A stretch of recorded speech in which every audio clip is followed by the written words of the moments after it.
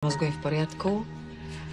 A žiadne krvácanie do mozgu ani edém, ale ľahký otraz mozgu nemôžeme vylúčiť. A máte zlomeninu ľavého zápestia bez dislokácie, takže postačí fixácie. Čo presne to znamená? No, že vám to dáme do sadry na 4 až 6 týždňov. Koľko? No fasa, tak to zás všetko budem robiť ja. E, tak a teraz by sme mali zistiť, prečo ste odpadli. Opíšete mi vaše ráno? No, no povedz. Vstala som o 6. No, dala o som, 6. Tamajer, prosím. dala som si kapučino bez cukru, vodu s citrónom. No ale treba podotknúť, že vôbec nič nezjedla. Nič. Veď ale som išla na pás. A? Na 10 minút zahriať sa pred tréningom.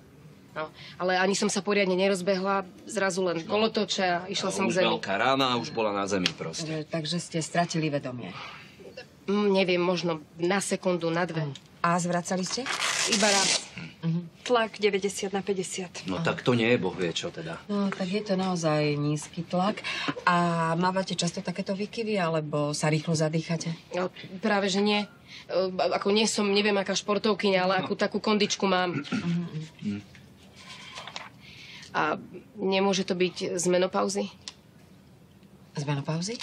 No, máme to v rodine. Mama aj starka to mali hneď po 40 a ja už rok, dva mávam návaly aj výkyvy nálad. No, tak toto môžem potvrdiť. To teda Áno. má výkyvy nálada. Dobre, Poriadne.